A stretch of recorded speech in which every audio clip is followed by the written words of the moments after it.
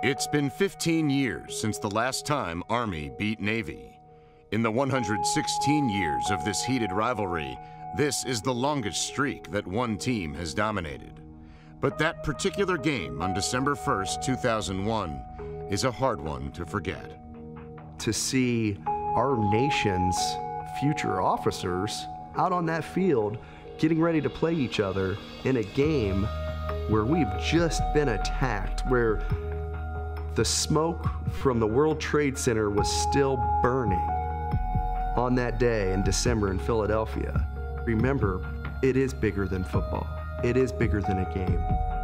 That day, it was different. It wasn't so much us against them. It was, we're all in this together. We're, we're in this fight together. We know we're, today is, is very meaningful from a football standpoint, but it, it transcends football. And I felt like the eyes of a nation were on Philadelphia that day. You always relate that game to 9 11. It had more pageantry than you could ever imagine, even more for an Army Navy game, I think. And you could just see the patriotism just oozing out of people. On that warm Saturday in December, millions of people watched as the nation's future officers took the field. The game's most notable guest was President George W. Bush, who had just sent troops into Afghanistan eight weeks before. I want to wish you all luck today in the game. Go get them and give it your best. And I'm thrilled to be here for the game, but I got to tell you, my mind is um, uh, with our with your fellow soldiers overseas. It's not just the president; it's their ultimate boss. You know, they understand the chain of command, and that made it really special. And for those of you who end up in whatever theater you may end up in, I think it was a great message to both teams. The uh, the stadium erupted as he walked onto the field and it was uh, it was a very powerful time.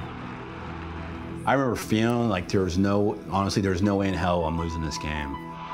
The cadets scored first, and with the prestigious Army General Norman Schwarzkopf cheering from the sideline, Army led the entire game with a final score of 26 to 17.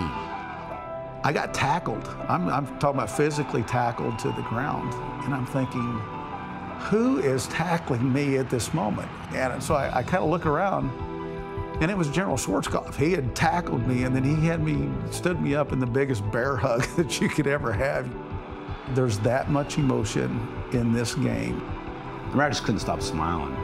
And then when you got back, I got back, and you know, I, I got pretty emotional. Just it kind of kind of hits you because it was my last game.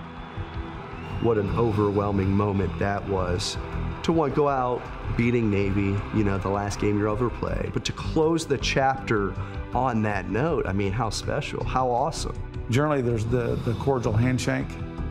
There was a lingering that went on uh, in the handshakes after that ball game. There was a different look in people's eyes. We all know the end state after that game that, okay, now upon graduation, we'll both those guys over there and us on this side, one team, one fight, all the way. That game will always be remembered as the first Army-Navy game after 9-11, but it will have extra significance until Army can snap the losing streak. The saddest thing to me in all this is that we've had several classes, almost multiple generations now, that have never experienced one win over Navy boy, I just, more than anything in the world, especially for seniors at West Point, I want them to taste that. It was certainly my most special game that I've ever been involved with. I, I've never had one that, that um, I remember so many moments so distinctly. But um, proud of those guys. Proud of my time.